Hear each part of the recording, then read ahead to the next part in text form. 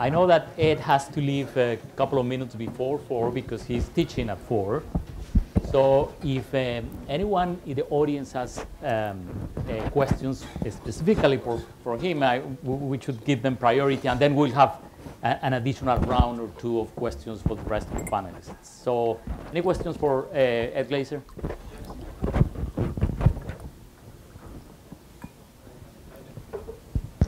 My name is Ivan Rossignol. I'm with the World Bank. I actually uh, chaired a panel on which you were at the World Bank two years ago. And so it's great to, to hear you again. I was very interested in the typology that you have of cities and the ones that, uh, I forgot the word, uh, nim, nimism, I think. NIMBYism, not in my backyardism. Okay, okay, thank you. And, and, the, and, and the gigantic ones uh, like China, I guess. My question to you is about India. India has decided to set up, uh, or at least to create 500 uh, new cities.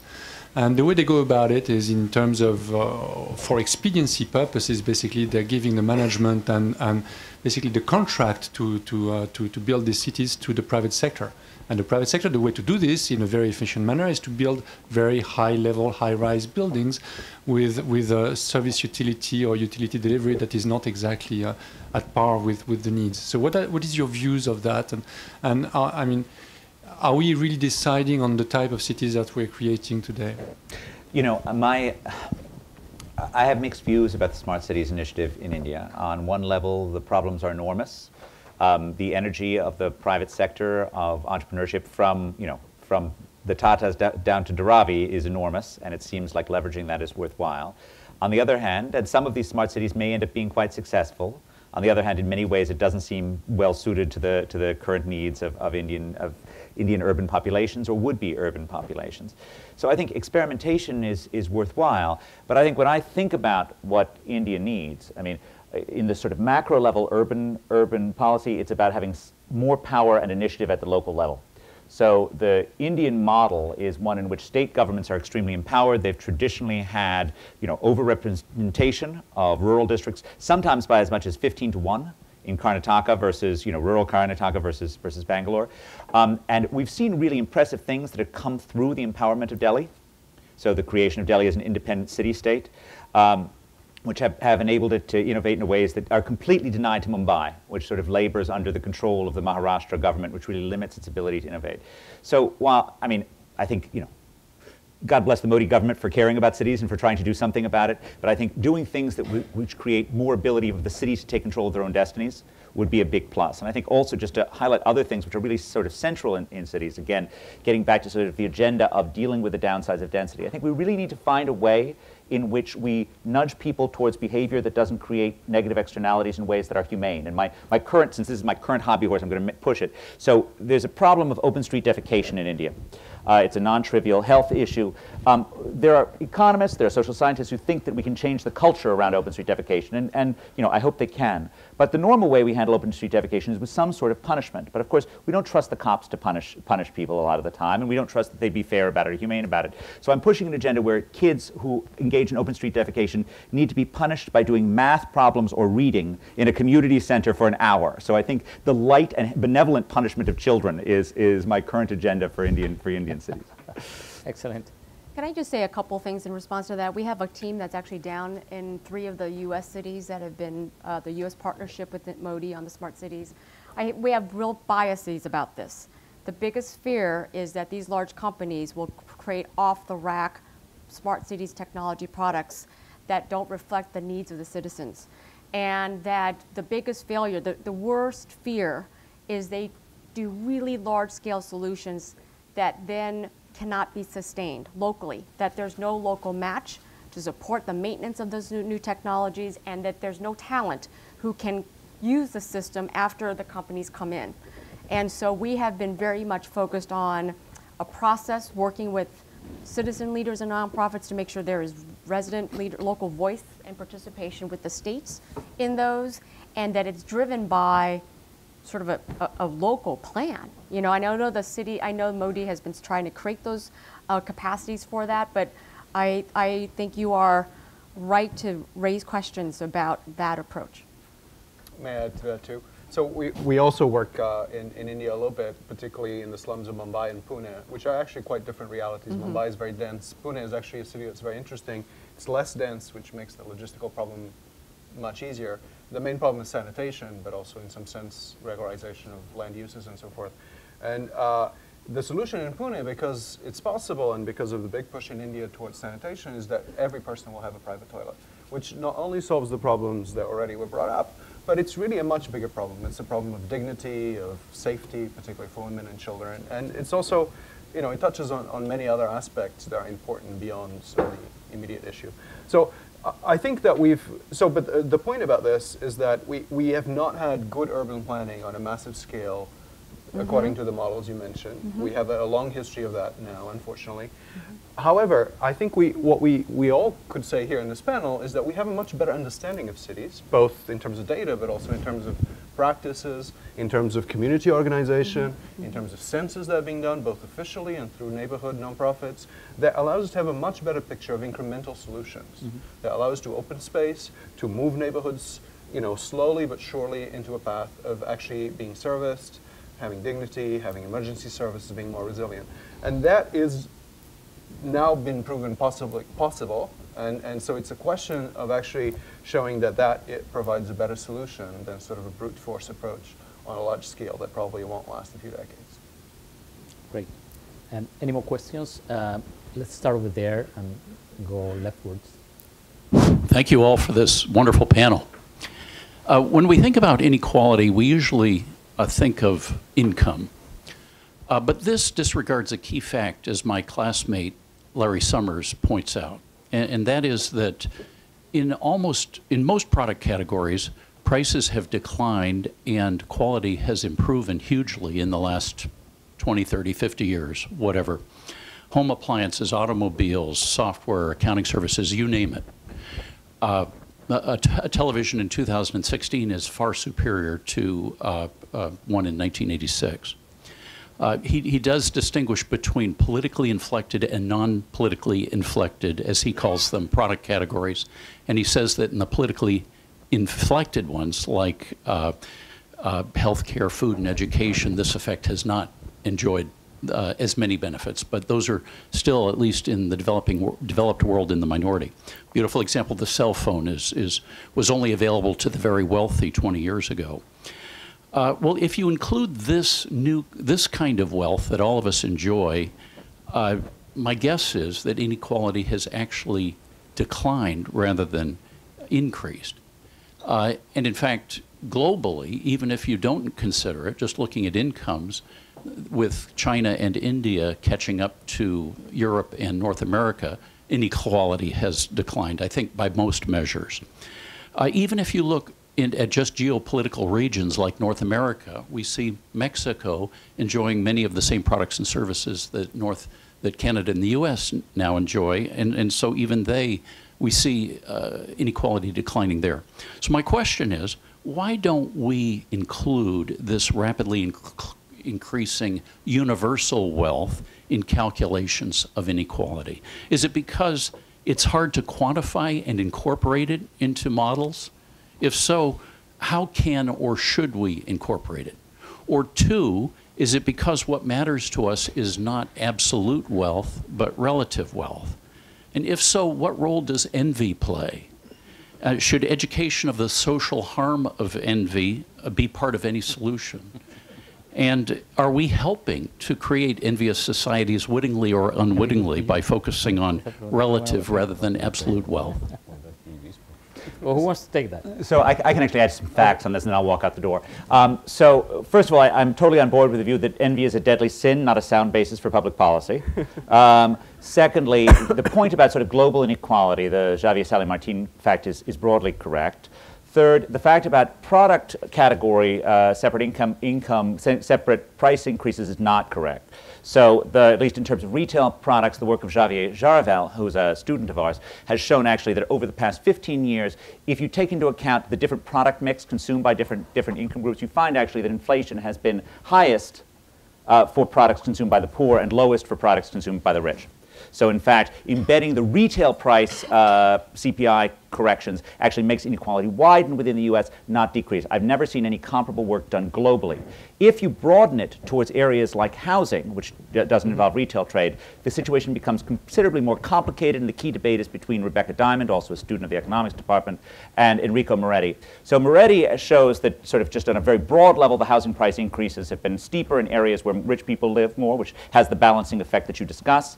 Um, Rebecca Diamond shows in a more sophisticated model that once you take into account differences in amenities across places and different, different valuations of amenities, that that effect is muted or even reversed in the sense that the, the richer areas are also getting nicer uh, a lot and the valuation of them is getting nicer. So it's, so it's complicated and I think the complication is the reason why we don't actually typically, typically embed it. Do you want to ask one more question on my, on my way out and then I'll, then I'll, then I'll go? If, The- if the- you have the time, I do, do, obviously. one, do one more. Yes, the- of course. the, uh, so let's take one more.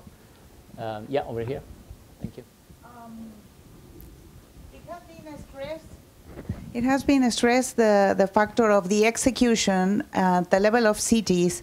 I was wondering, after all I've heard these days, if there is any model that can predict the competitions that have mayors have to execute.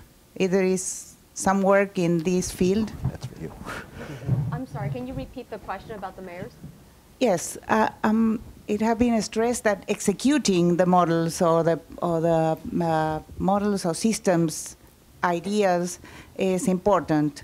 So I wonder if there is a way of predicting the the competences for executing in mayors. A city seem to be uh, such an a relevant. So, um, so on this one, I think that one of the beauties about cities um, is that I think increasingly is that we don't always have to rely on the mayors. I think someone said leadership really matters. Political leadership absolutely matters, as we heard from the former mayor of Medellin. Um, but if you have a weak mayor, other leadership can emerge. And so, um, what I would say is political leadership is absolutely critical for setting the right objectives, for convening people to solve solutions. You were talking so effectively about how some of these most complex problems require just networks of, of people coming together to do systemic change. That takes, right, vision, uh, leadership um, to be able to do that. But I guess I, um, and I also find it in an environment where there's very little public resources now, that the mayors are doing it not because um, creating a lot of these solutions require engaging more private sector and other nonprofits and other philanthropy to leverage and bring resources to the solutions. And so um, I, think the mayors today are understanding the importance of all of these uh, cross-sector um, partnerships to create solutions. But that said, I think what we're seeing now is a real demand for other civic institutions to step up. More uh, civic institutions, more public-private partnerships, um, and, and others to really fill the gap uh, in a lot of the challenges in our cities. Thank you. So we have time for like maybe a couple of other questions, and then we'll wrap up. Uh, we will give a chance. So over here, okay, and then there, Daniel. Just wanted to ask the panel about uh, BRTS systems. They seem to have been successful in most part, uh, wherever they have been tried. How come it has not gained greater traction all over the world? randomized control. Uh, Uh, bus rapid transit systems, Oh, dedicated lanes. Well, arguably they are spreading. They Yes. even now ex- uh, being implemented in LA and other places. So um, it, there's sort of an incremental solution, right? That's what's really attractive about it. They go from basically something that's easy to add to with a few more buses. The, the, the critical thing that even speaks a little bit to technology and, and other aspects of it is that by creating dedicated corridors, by creating platforms that reduce the time for ingress and outgress, by creating sort of a, a system of fares that allow you, it, works in a way that's faster and also allows you to dispatch and control in a way that guarantees better quality of service. So it's those interesting innovations, actually not the buses themselves, that make the whole system as a system work better. And you see that, you know, short of building sort of a, um, um, a subway line, but having a better bus system that really is filling that gap. When I was a PhD student here, I got my PhD in mathematics at the University of Wisconsin in Madison, 80s. The word inequality didn't exist in the mm-hmm. American society. Mm-hmm. it exists today. Something had happened. Mm-hmm. Whichever it is, something happened here, Three- and it is related to inequality. Yeah. Secondly, and for example, there is a deep inequality regarding fear in our society.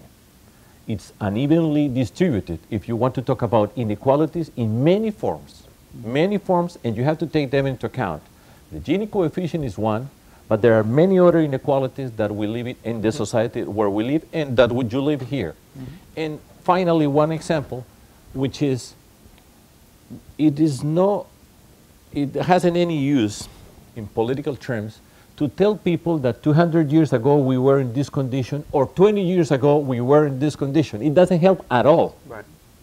For example, with this health system in Colombia, mm-hmm. I have no doubt that the one that we have today is better than the one that we have 20 years ago, but nobody's studying what happened 20 years ago in order to decide or feel what they have to feel today. That's a way of missing the point, and the political terms are very different. So there are very deep inequalities, and we have to understand how to address those inequalities. And there is a one that has been there for all the time is in our society, which wasn't here, and now it is here in this country, which is how you have a chance in this society to choose, to freely choose a path, is associated directly to the richness of your family. And that remains very powerful in our society, and we have improved because I believe that we have improved quite a lot, but inequality is there, it changes, and we have to ask to work on that, and that has to be done at all different levels. We mayors can do some things, governors, we can do some things, and at the, in our contest, at the presidential level, we can do other things. But that's a political problem, it's a present problem, it's a real problem, it's an urgent problem, and we have to tackle it. Yeah, I, I would say that one of the reasons why cities have such good engines of growth is because they raise expectations. But also by raising expectations, they also raise this uh, feeling of frustration and inequality and, and, and, and uh, Right. yeah. Can, can I just, I, you know, there are so many dimensions to this issue, um, but I want to just reinforce this, the, the challenge of the zip code, which people have been talking about. You know, last week our uh, organization released a report that showed that even in the height of this rebirth, uh, in the last five years in the United States, we have seen concentrated poverty continue to climb at astronomical levels in the United States. We now have 4,000 more neighborhoods in the country now that have high levels of poverty. And so if you have high levels of poverty, 20% or more, you're absolutely locked out of any kind of economic opportunity, good schools, jobs, and, and so on. And so we have not yet cracked the code about why is it that we have, you know, uh, that neighborhood change is hard for everybody.